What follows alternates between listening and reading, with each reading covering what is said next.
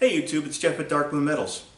Uh, it's been a while since I posted a video and I do apologize for that, but as some of you know, um, I've been having some issues uh, medically where uh, it's been hard for me to get out to the shop and I'm back today with a renewed vigor because of something that happened yesterday. Um, I was discussing with a few people the issues that I've been having. Now, I've been getting out to the shop maybe two hours a day, three hours a day at the max. And after that, I just get really sore and um, I, I, have to stop. Uh, somebody yesterday said, well, why don't you just go on disability? And I thought about it for a second and it made me very, very angry. Um, not at them, but just the whole concept. As long as I can get up in the morning, put my boots on, and make it out to the shop, I don't want to be on disability. Um, I don't want to receive money from the state or from the government.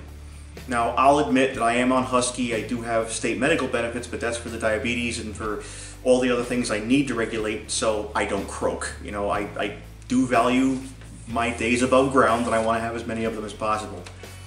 But the idea to go out and actively seek disability benefits when you are, uh, when you have a roof over your head, you might not be eating steak every night, but I'm not going hungry and I know that there are people in my community who are both homeless and hungry and to me going out looking for more than I've already got, it just seems greedy. And I know that I can make a living if I just put more time into the videos and into other things. Now, one of the problems I've been running into running Darkmoon Metals is that I need to do a lighter workload. I need to actually work on smaller things. I can't um, lift on heavy mower decks and things and get them from the ground to the workbench and do a lot of the heavy work that I was doing before. So I'm changing gears and I'm working on stuff that's smaller.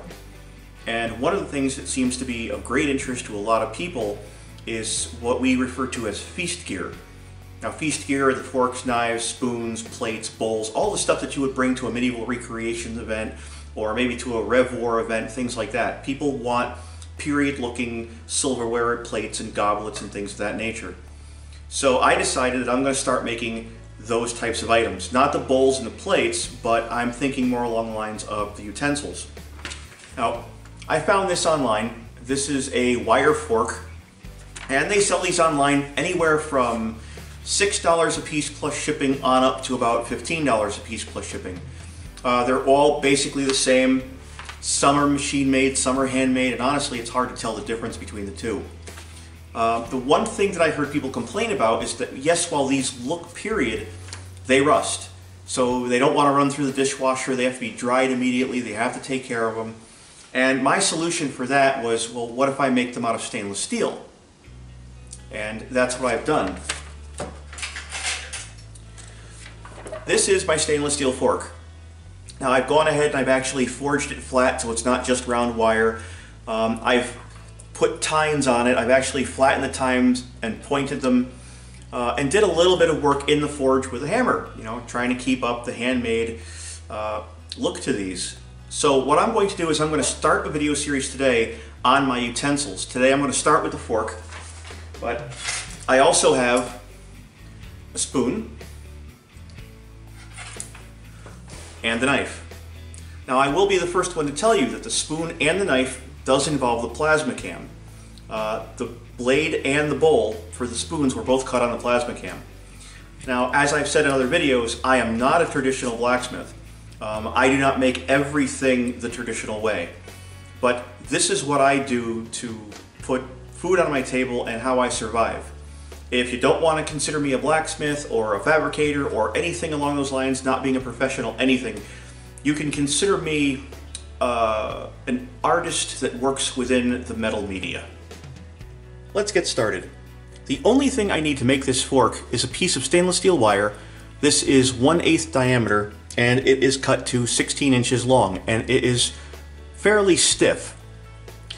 Now my source for stainless steel wire happens to be welding rod.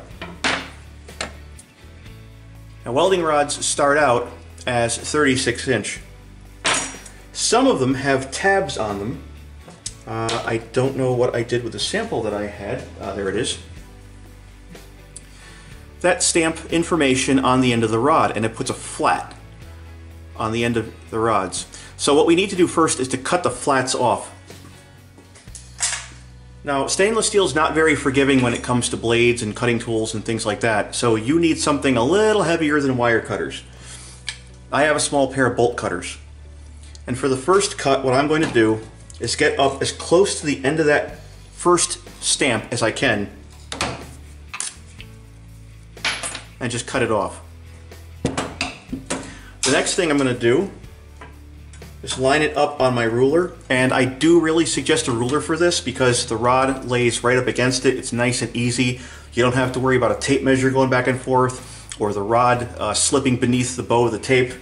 Uh, it just makes life a lot easier. So I'm going to mark this at 32 inches. And I'm going to cut it there as well. Let's see, where is my mark? There it is.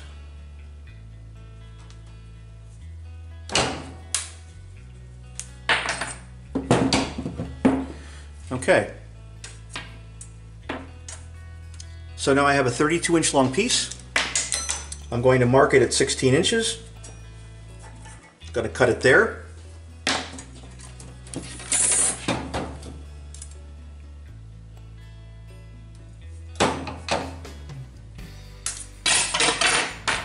As you can see, the ends are a little ragged. So what I'm going to do is I'm going to go over to the belt sander, and rather than just take the ends off and make them flat, in this case, I'm going to put points on them. I'm actually going to start the tines while this is still flat. I'm going to do that off camera. When you make these points, they don't need to be razor sharp. Uh, you're going to be refining the tines later on. Uh, at least you will if you follow the process I'm showing you. Uh, once you have your rod to this point, I just drop it right back down on top of the ruler. It is 16 inches long. I'm going to mark it at the 8 inch line and I might as well go ahead and do the same for both.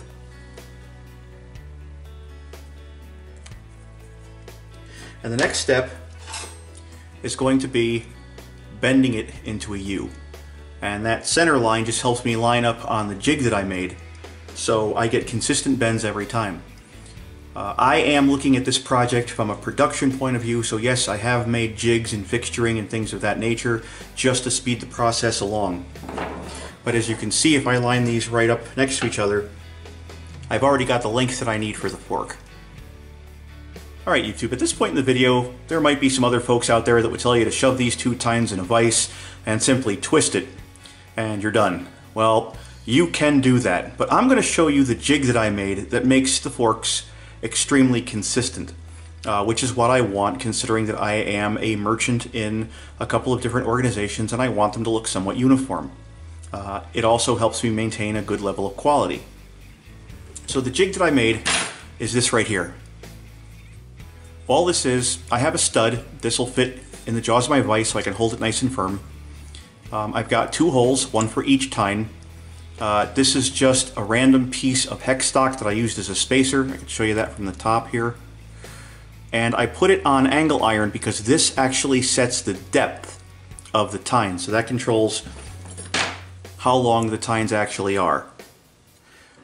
To load this into the fixture, all I do is insert the two tines inside. Uh, I have Allen head screws in here just give them a quick tightening.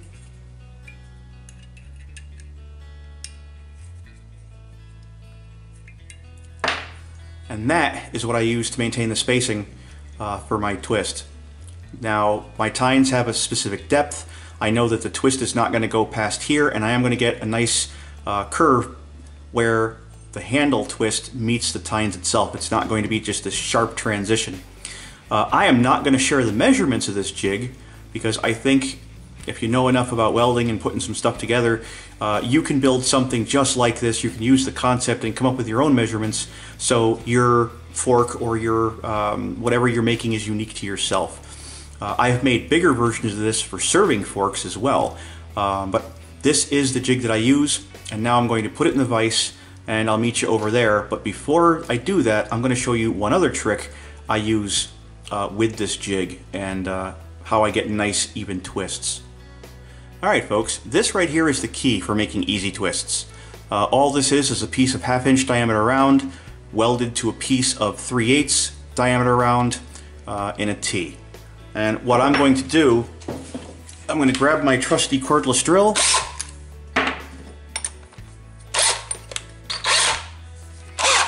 Load that in, put it on low speed, and now I'm ready to do the twist. Think you see where I'm going with this already. Another tool I'm going to share with you that I have found remarkably useful when using this jig is this miniature slide hammer. Now everybody knows what a hammer does. You hit something and the direction that you're swinging in, that's where the force is going. Well, this is a little bit different. Uh, instead of hitting things away from you, this actually pulls things towards you. So you would put a hook or something on this end, and as you slide the weight back, the weight is going to hit the handle, pulling whatever uh, this is towards you. Um, I'm going to use this backwards. Uh, you'll see why. I'm actually going to be pulling in this direction and using this as my hook. Uh, this is going to help me get the fork out of the jig because when it's in there, it's in there. All right, guys. All I'm going to do is take my T, put it on the end of the loop. I'm going to pull back slightly because I don't want this to twist or curl. Stainless steel is relatively difficult to bend, but if you keep a little bit of tension on it, it will go straight.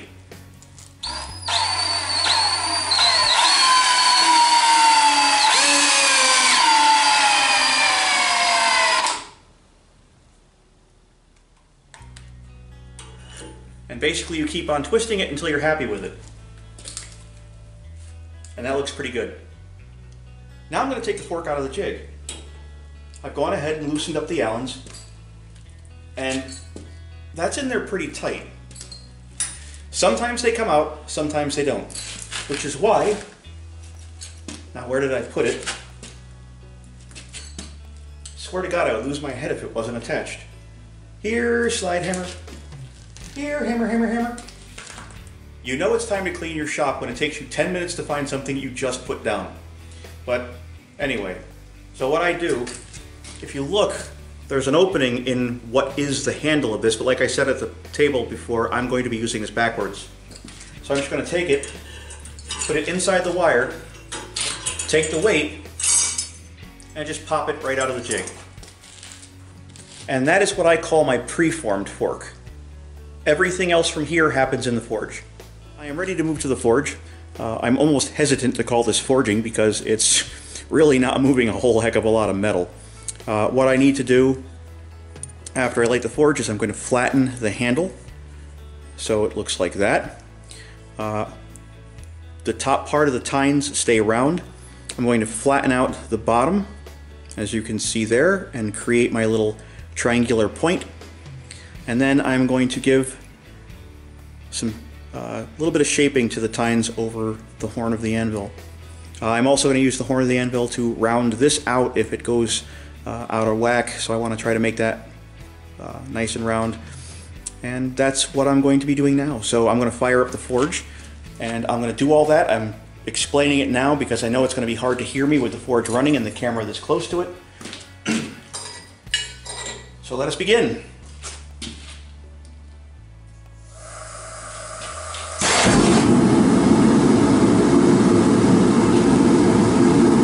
This won't take too long to heat up at all.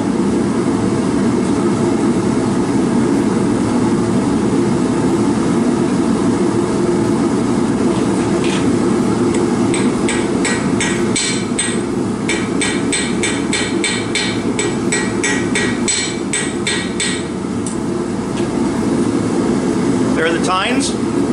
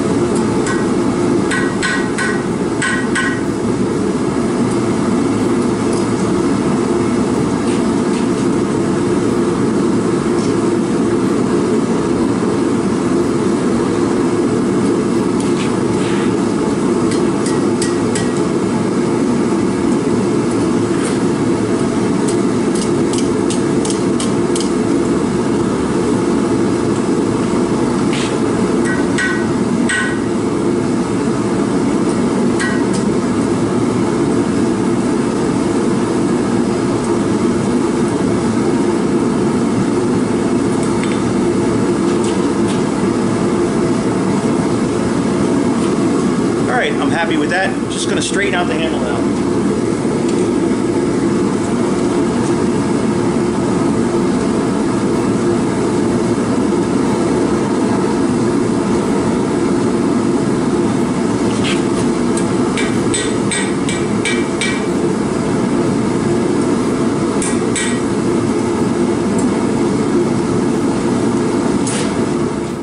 All right, YouTube, so there's your stainless steel fork. Uh, the next video, I am going to be making the spoon, and I'm going to be introducing you to one of my favorite pieces of tooling in the shop. Uh, I will say two things about this work. Number one, I sell it for $10 a piece. Uh, I do have a hard time keeping them on the table. The spoon I sell for 20, the knife I sell for 20 as well because there's more involved in making them. It's not just a simple twist of a piece of wire. Um, if somebody decides they want to buy all three, I will take $10 off the set price and sell the set for 40. And yes, hard time keeping them on the table.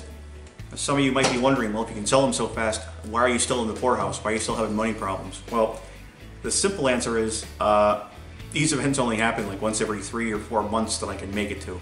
So if I make $1,000 in an event, that's great. The next week, two weeks, I might make, you know, 80 bucks here to $100 there, just selling a rose every now and again, uh, steel rose, or somebody brings a lawnmower into the shop to be repaired. But when I can go to these events, I do make out very well and it does help sustain me. The other thing I'm going to say is I'm not, repeat, not going to tell you what kind of stainless steel I use in this. Uh, I want you to go out and do your own research. The stainless steel that I have chosen is a specific alloy because I know that when it is used in welding, you can weld things that are uh, in commercial kitchens, sinks, stoves, uh, hood lights, all, all sorts of stuff. It maintains uh, a safety standard for being sanitary. Uh, anything that's welded with this rod can still carry what they call an NSF, which is the National Sanitation Foundation. It's a sticker, and you'll see little blue stickers that are about the size of postage stamps on just about every piece of stainless steel equipment in a kitchen. Heating this up will not change the properties or reduce its level of, uh, of being sanitary. You have to consider that putting this wire through the forge is not going to change the properties of the alloy. When, uh, when you weld with this, you melt it, you bring it down to a liquid, and it still maintains enough of its properties where it's considered sanitary when the weld is cool. So you don't have to worry about that. When uh, I bring these to an event, what I do is I take them, when they're done, I usually try to make 20 or so at a time. I drop them into a pot boiling water on my stove, let them boil for about 10 minutes. I run them through the dishwasher, and then I throw them right back in the boiling water for another 10 minutes. I want to make sure that any little grit or particles or anything that could have been stuck inside the handle in the twist is completely removed. And I want to make sure that these are safe to be eaten with right on the spot. Because at events, there are people that will show up, they'll forget their feast gear or they'll have a piece of their feast gear missing. They will go out, they will buy an item from a vendor, and they might not take the time to wash it before they use it. So I want to make sure that these are sanitary as they're sitting on my table. Uh, I put a couple out for display and I don't allow a whole heck of a lot of people to handle them. So if somebody wants one, they can pick it up and look around and say, oh, this is very nice, and then I can bring out the rest and say, you can choose from any of these. So yes, there is a little bit of thought put into this. Uh, and now I'm thinking about my next video. Uh, I need to get off my butt, go have breakfast. But again, thank you for joining me. Uh, and thank you so much for all the people who have reached out to me and have asked to support me in various ways. I've had people offer me money, I've had people offer me tools just because they want to see me stay on my feet, and I greatly appreciate that. But I will be completely honest with here uh, with you guys. YouTube right now is generating a little bit of an income. In fact, I'm paying my truck insurance with it. It's giving me enough money for gas and a little bit of food. If you guys like what I do, please like and share the video. Help me build a subscriber base because ultimately that is going to help me grow the business and it's going to be more sustainable in the future. So when I do post videos like this, I'll get more views, more interest generated in the channel, and that will benefit me in the long run. Uh, things are hard now, but the future is going to be brighter. Uh, I'm doing my best to stay positive, and you folks have a lot to do with that. So once again, this has been Jeff at Darkmoon Metals, and I will see you very soon.